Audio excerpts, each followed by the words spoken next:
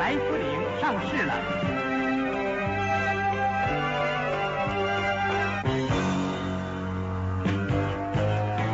我们是海虫，我们是海虫。正义的来福林，正义的来福林，一定要把海虫杀死，杀死，杀死。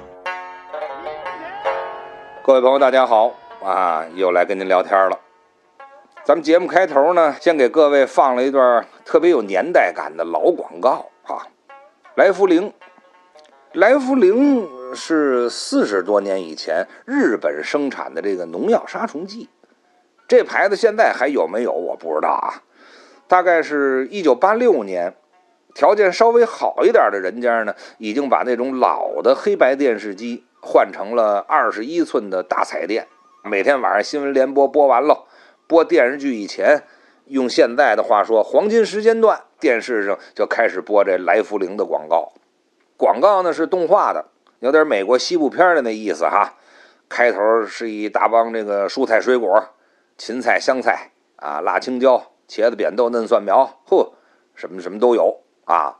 正跟歌舞厅里边跳舞呢，咣当一声，仨害虫捯饬的跟小流氓似的踹门进来了，张嘴就开唱。我们是害虫，我们是害虫。这句词儿大伙儿现在都特别熟。我们是害虫，我们是害虫，就这么唱。蔬菜水果看这仨小流氓，当场就怂了，啊！就在这坑节上，正面人物登场。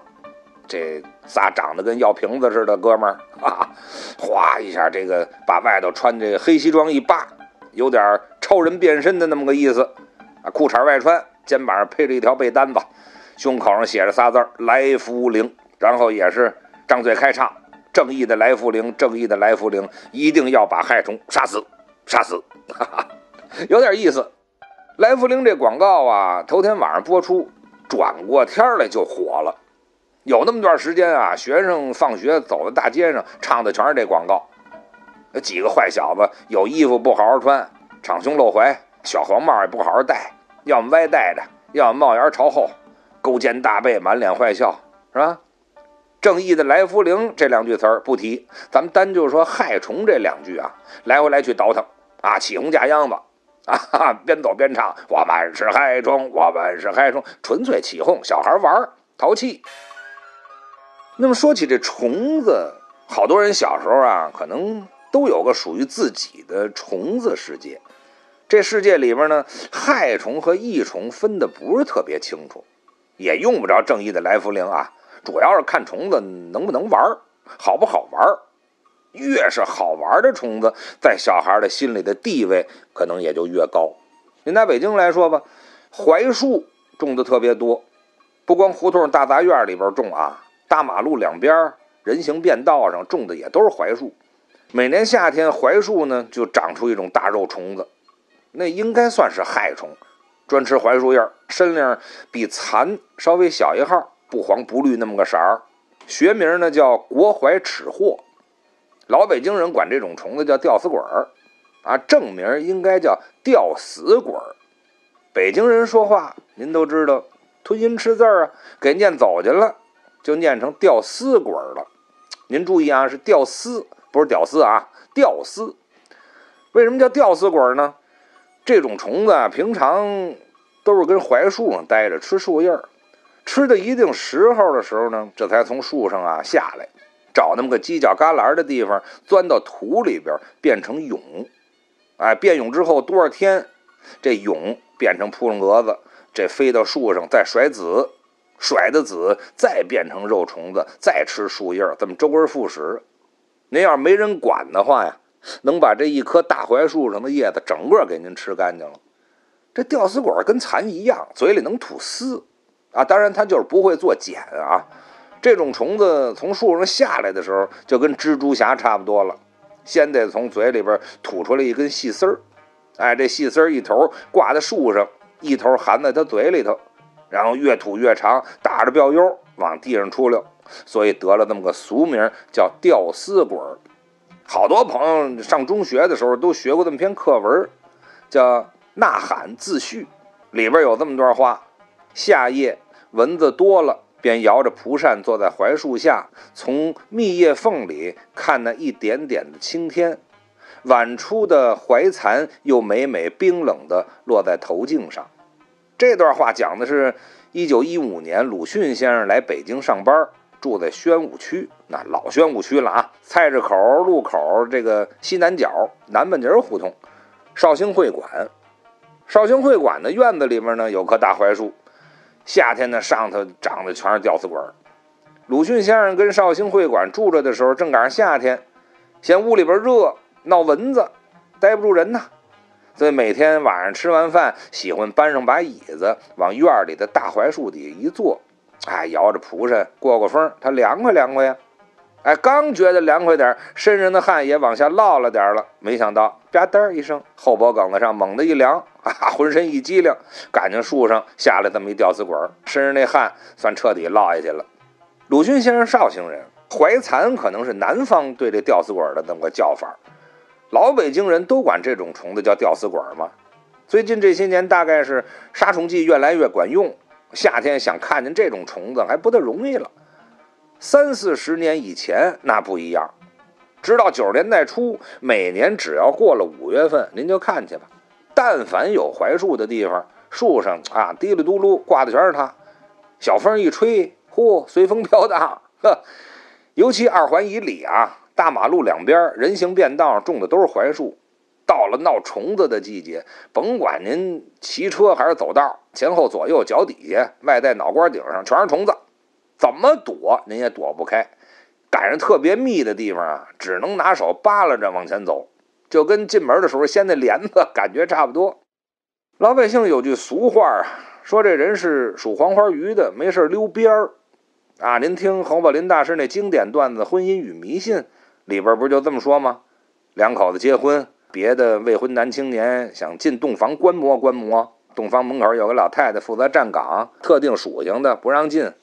啊，那年赶上猪狗牛三种属性不让进，有个属狗的男青年糊弄老太太说：“大妈没事儿，我属黄花鱼的。”啊，老太太挺哏儿啊，听说这哥们属黄花鱼的，来这么一句：“哦，属黄花鱼的呀，没事儿进去吧，溜边待着啊。”黄花鱼属黄花鱼的溜边儿，想进去跟老太太撒谎哦。大娘，我我进去瞧就行。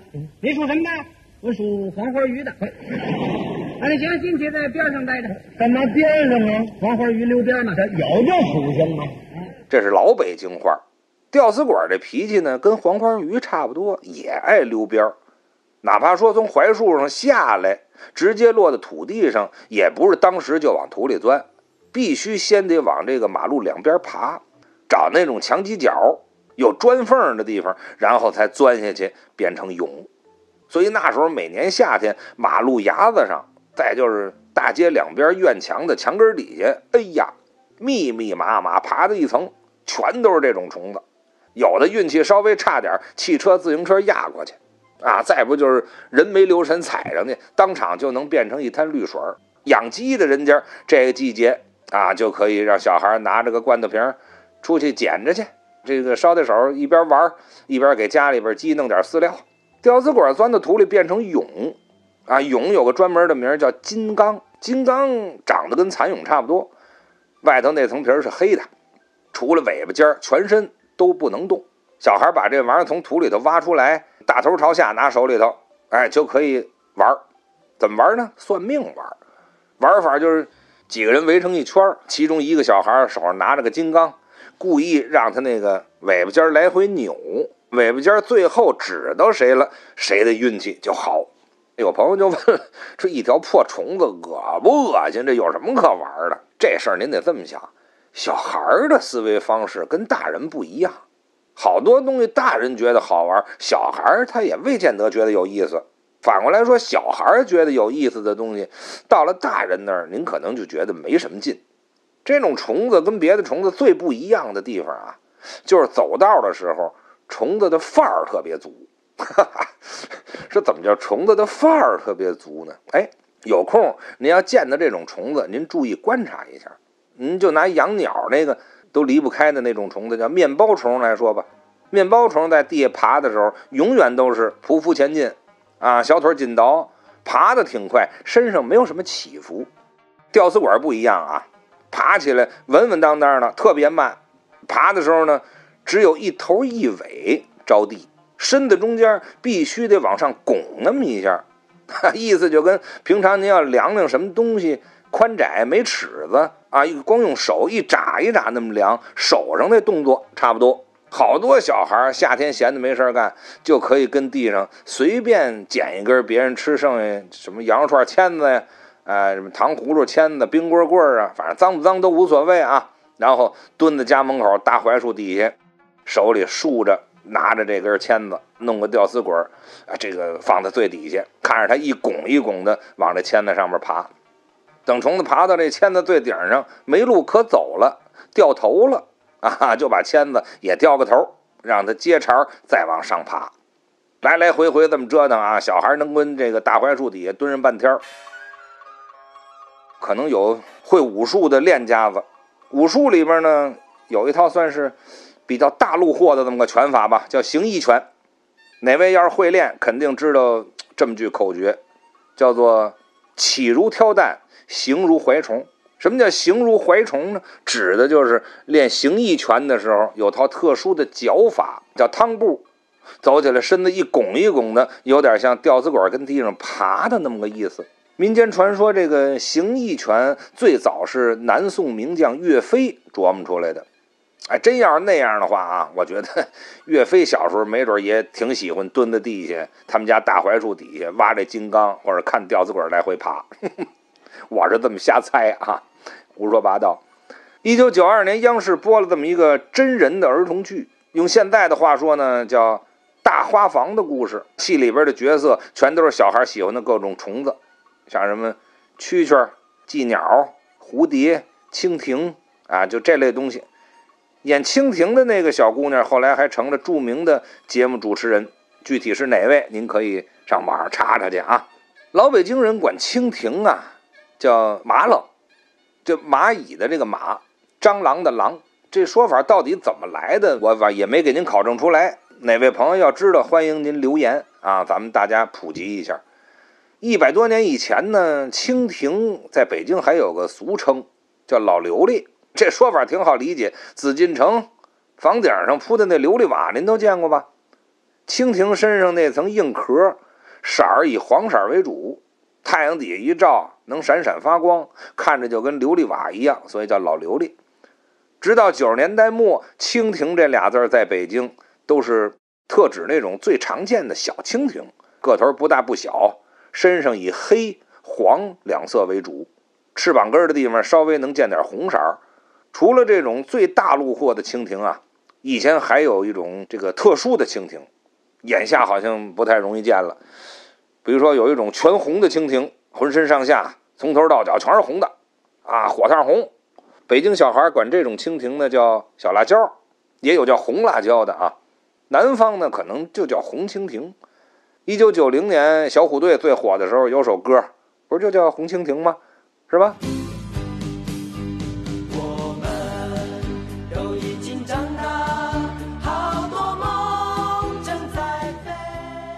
蜻蜓呢，不光是全红的有，啊，还有一种就全灰的，外号就叫小灰儿。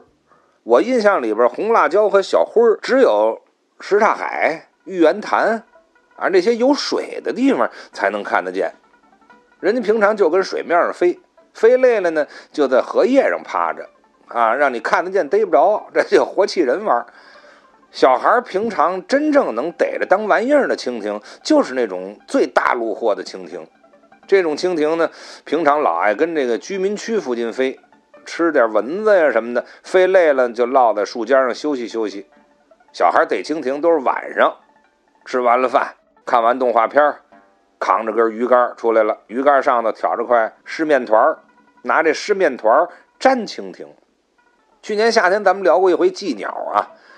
粘蜻蜓的这技术呢，跟粘寄鸟其实差不多，只不过就是这个寄鸟的劲儿啊比蜻蜓大，身上的壳硬，还光不出溜的，所以粘寄鸟呢必须得用这个自行车内袋熬的那个胶，啊破气球熬的胶那都成。这种胶呢粘性大，粘的时候最好是粘在寄鸟的翅膀上，为的是那个不容易跑，不容易挣脱。但蜻蜓不一样，蜻蜓劲儿小，身上也软。啊，有湿面团就行了，看准蜻蜓跟什么地方落着，鱼竿悄没声的身上呢一粘，十有八九跑不了。就粘的时候您得留神，这湿面团啊，最好是粘在这个蜻蜓翅膀的中间儿，相当于人的后背那地方。这地方壳硬啊，过后把蜻蜓这个身上这面团往下摘的时候，蜻蜓身上能干干净净的，不容易挂住这湿面。要是您粘在翅膀上，麻烦了，湿面怎么也弄不干净，蜻蜓想飞都飞不了。用古玩行的那话讲，就算有了瑕疵了啊，不好玩了。逮蜻蜓还有这么个路数，就是拿抄网抄，这概率比较低，还特别考验技术。抄蜻蜓最好是赶在头下雨之前。为什么非得这时候？下雨以前，您都知道空气湿度大呀，蜻蜓啊全都飞不高，越是空场的地方飞得越低，抄蜻蜓概率就越大。哎，有的小孩家里边没有抄网，临时拿个扫把就能扣蜻蜓。扣蜻蜓不能拿咱们家平常用的那种高粱苗编的那种扫帚，那不成啊。那么着话，您直接就把蜻蜓给拍死了。必须用那个清洁工扫大街啊，工友扫学校操场那种大竹苗编的扫把。小孩劲儿小，一只手拿不住那种大扫帚，多数都是两只手拼命举着。好家伙，累得呼哧带喘，看准蜻蜓飞到跟前猛一夹要拍下去。这竹扫帚空隙大，正好能把蜻蜓扣在底下。那原理啊，跟抄网差不多。我小时候有两种蜻蜓啊，就跟江湖传说那个宝的那个兵刃，武功秘籍跟那差不多。那叫什么？可遇不可求。可以说每个小孩，尤其是小男孩的梦想，什么蜻蜓呢？就叫老刚和老子儿。这一说就想起小时候来了哈。老刚和老子儿其实是一种蜻蜓，这学名呢叫碧尾蜓，身量比普通蜻蜓啊个儿里大好几号，一个顶人家仨，啊，属于蜻蜓里边的战斗机。老子儿呢是母的，全身都是绿的啊，老刚呢就是公的，最明显的标志就是挨着翅膀那块肚子底下多一点蓝色儿。普通蜻蜓啊可以用个。湿面团就粘了啊，拿抄网扣。要是想逮这老刚和老子儿，那就凭运气了。多数都得等着刚下完雨，啊，不能耽搁啊，马上就得趟上水出去。为什么非得等到下完了雨呢？刚下完雨那会儿，蜻蜓身上有水，飞不动，只能跟矮树上落着亮翅膀。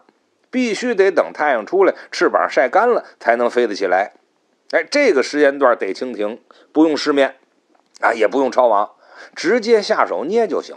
啊，饶是这么着啊，我活了多半辈子，也只逮着过一回这老杆儿，还看见别人逮着过一回老子儿。您就说吧，这种蜻蜓要见要想逮着有多难？普通蜻蜓逮回家呢，多数都是跟屋里头一撒，啊，让他们接茬在屋里逮蚊子。蜻蜓飞累了呢，就跟纱窗上一趴着。第二天早上，小孩把这窗户打开，就就算放生了，啊！要逮着老刚和老子儿，那就不能一个人跟家闷墩眯了，那得牵出去溜溜，跟周围街坊邻居小孩显摆显摆。狗，好多朋友都遛过哈，遛狗嘛，遛蜻蜓跟遛狗意思差不多，啊，就是找根家里边缝衣服那线，哎，大概留个一米多长，一头系个活扣拴在蜻蜓尾巴上，一头攥在自个儿手里。蜻蜓呢，在脑瓜顶上飞，小孩跟下头牵着啊，这么着往大街上一走，嘿，我跟您说吧，当时那心情绝对比现在您牵着一个名种的狗牵出去遛去比这拉风。北京小孩有这么首童谣啊，有点刘三姐对歌那意思，必须得俩人唱，一问一答。问的这个人呢，先拍着手唱：什么虫空中飞，什么虫树上叫。什么虫路边爬，什么虫草里跳？问的这人唱完了，答的那个人马上也得拍着手跟着唱：蜻蜓空中飞，知了树上叫，蚂蚁路边爬，蚂蚱草里跳。要说起来，好多人这辈子啊，最早的宠物，或者说是最早的动物朋友，可能都是蚂蚁。不光中国人这样，可能老外也这样。圣经里边就有这么句话吗？说是去查看蚂蚁的动作可以得到智慧。中国古代还有一个特别文言的说法，叫“顽童贯蚁”，什么叫顽童惯蚁呢？这人家蚂蚁老老实实跟地上爬，没招谁，没惹谁。有的小孩就觉得新鲜啊，这么个小蚂蚁洞怎么就住着那么多蚂蚁？干脆我给他来个水淹七军啊！这是以前小孩爱干的淘气的事儿。现在大伙儿观念不一样了，是吧？得爱护小动物。您家里要是有条件，也可以跟家里孩子给养一窝蚂蚁，干净不占地儿，平时是个乐儿，还能得着不少知识。那时候养蚂蚁，您让我养哪儿啊？眼下花鸟鱼虫市场正经真叫有卖那宠物蚂蚁的，还专门有这种呃玻璃的那个蚂蚁窝，透明的，跟鱼缸的意思差不多。蚂蚁每天跟里边干什么，您从外边都能看得见，有意思极了。中国古代还有这么个说法啊，叫蚁妇之兵，大概意思就是形容这个打仗的时候啊，一大帮兵抱着团儿，像蚂蚁似的往前冲。比如《三国志》讲到这个孙权他爸爸孙坚，讲到这孙坚的时候，就说这哥们儿特别猛，猛的这个别的将军打仗啊，呃，都跟后头站着，这喊兄弟们给我上。孙坚呢，他不行，不怕死，打仗喜欢带头打冲锋，上了战场比谁跑得都快。手底下那小兵啊，都是成群结队跟在他屁股后头。啊，《三国志》里边原文啊这么说的：坚身当一面，登城先入，众乃以父随大破之。北京大兴啊，嗯，离我马场不远的地方有这么个南园机场。南园机场西北角有座蚂蚁坟，老北京有个说法，每年清明节，成千上万的蚂蚁都要爬到这地方来，聚在一块儿，那落得跟小山似的，足有那么几丈高。那每年清明，蚂蚁为什么非愿意在南园这地方扎堆呢？民间传说啊，说挺老早以前，南园这地方打了场恶仗，啊，那死的人海了去了。天长日久，那些阵亡将士的忠魂就变成了蚂蚁。每年清明，这些将士的忠魂都要聚在一块儿叙叙旧，聊聊以前打仗时候的事儿。三百多年以前，有个叫吴伟业的诗人，啊，就是写这个“冲冠一怒为红颜”的那位，路过南海子，从当地老百姓嘴里知道了这传说，写了首诗。诗里边有这么两句话，叫“野火风吹蚂蚁坟”。枯杨月落蛤蟆水。一九九八年，中国香港拍了部电影，叫《风云雄霸天下》，里边有首插曲叫做《虫儿飞》，啊，最早是郑伊健唱的，后来又有不少歌星翻唱。这首歌的开头是这么个词儿：黑黑的天空低垂，亮亮的繁星相随，虫儿飞，虫儿飞，你在思念谁？现在的人经常挂在嘴边的一句话，就是这世界变化快，原先的好多东西都没有了。